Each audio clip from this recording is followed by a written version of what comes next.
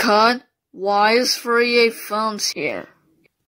Oh, and just T's replacement because T is on a date with Disney, going to Shame on You, a French restaurant. I have the footage if you want to see it. This restaurant is fancy, isn't it?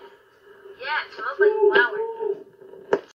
It's okay. We'll just wait for T to come back and then we'll do take 46.